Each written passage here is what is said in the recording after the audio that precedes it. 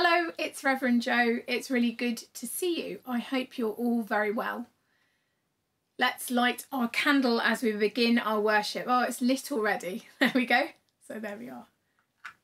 Jesus is the light of the world. Jesus is the light of the world. The Lord is here.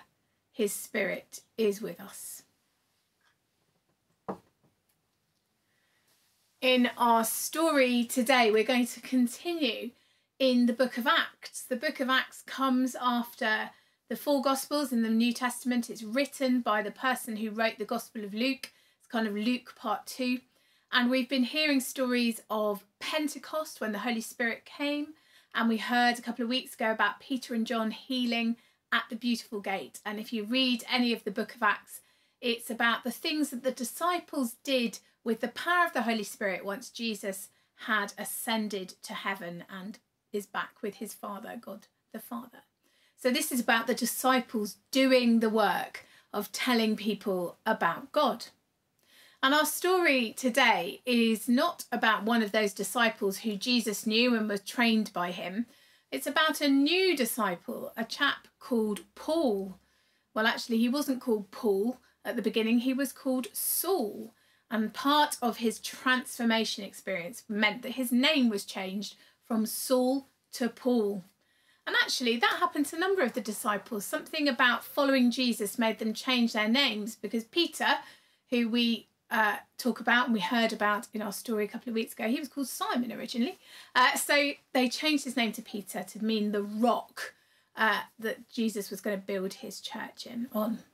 So our story today is about changing your mind about being completely having to change your whole life and your mind around and go in a completely different direction. It's quite a long story today. It's from our Lion Storyteller Bible. So feel free, settle down and listen carefully as I read the story to you. So this is about Saul who became Paul. It's called On the Road to Damascus. Saul did not like Jesus, not at all.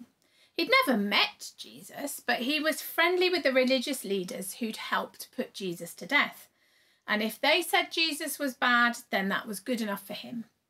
Saul didn't like the people who followed Jesus either, not one bit.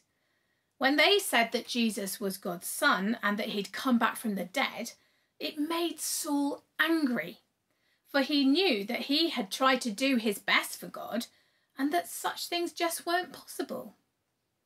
So when the people who didn't like Jesus started throwing stones at Stephen, who was one of Jesus' followers, Saul just stood and watched. He didn't try to stop them. He didn't say, that's wrong.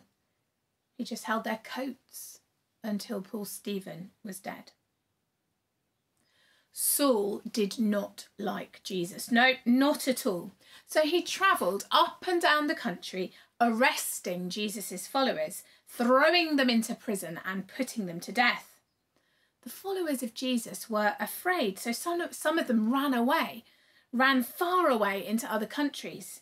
But that didn't stop Saul. No, not for one minute. When he heard that they had fled to the city of Damascus, he gathered his friends together and set off to arrest them.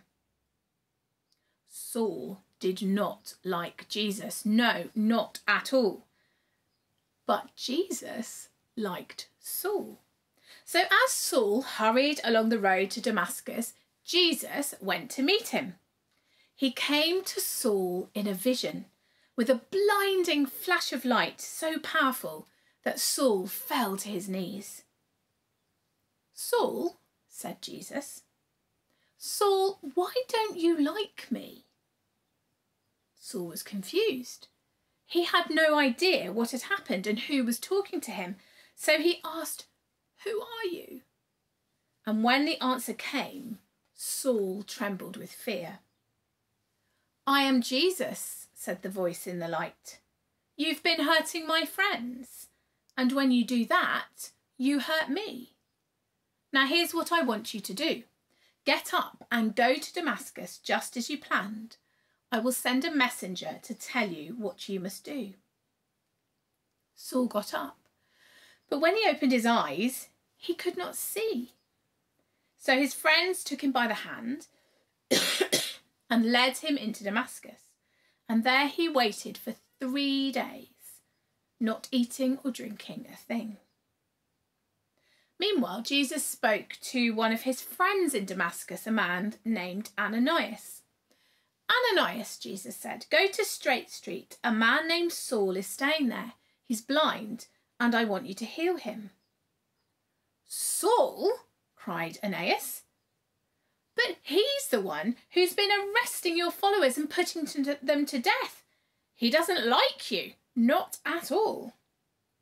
I know, said Jesus. But I like Saul, and I have plans for him. I'm going to send him round the world to tell people everywhere all about me. So Ananias went. He laid his hands on Saul, and once again Saul could see. What is more, Saul decided there and then to follow Jesus too. He was baptized, filled with the Holy Spirit, and to show that he was a new person, he even took a new name. You can call me Paul from now on, he said.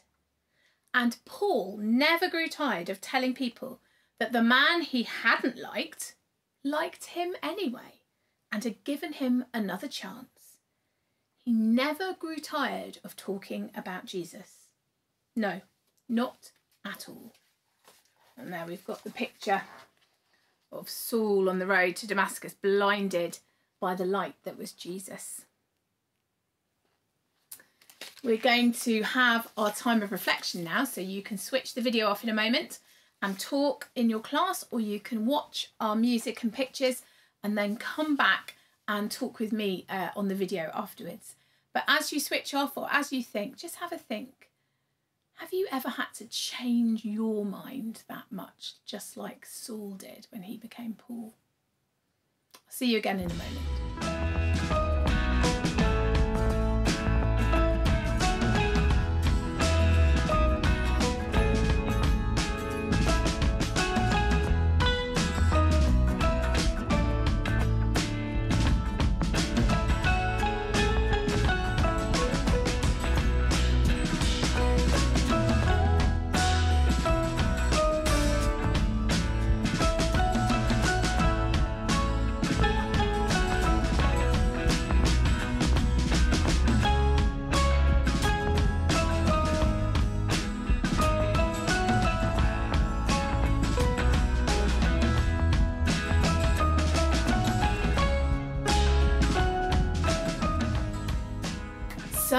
Story, eh?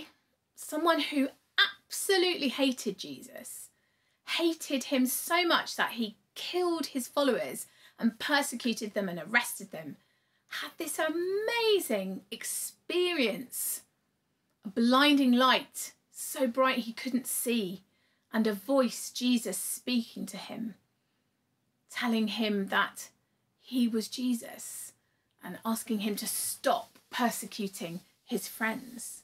What an amazing experience that must have been. It must have been terrifying to have to completely change your mind about something, to go from hating to loving in just a couple of days. It's a really big change in his life. I wonder what values you see in this story. I wonder if some of the values that your school holds are in this story perhaps just have a little chat to the person next to you about what values you see. I think this is a story about forgiveness, about Jesus forgiving Saul for being so unkind. It's a story about love. And it's a story about courage too. Because Paul, or Saul as he was, had to be so brave to admit that he was wrong and to change his mind and to change his mind in such a huge way from going to hating Jesus and his followers to loving Jesus and telling other people about him. It's such a huge change around. I wonder if you ever had to change your mind like that. How did it feel to suddenly discover that actually you were wrong about something or you'd made a mistake. Can be really hard sometimes, can't it, to admit when we've done something wrong? Admit that we made the wrong decision or we thought something that now we've changed our mind on. But actually, it shows real courage, real honesty, real love, real forgiveness to be able to say, I mucked up. I got it wrong. I shouldn't have done that. I shouldn't have said that. I shouldn't have thought like that. Because actually, now I think something different. Wonder if you've got the courage to admit when you're wrong and to ask people to help you when you need to change your mind about something we need the power of the Holy Spirit, just like Paul did. He was filled with the Holy Spirit at his baptism, and that's what gave him the courage and the energy and the love to be able to tell other people about Jesus and to admit that he was wrong.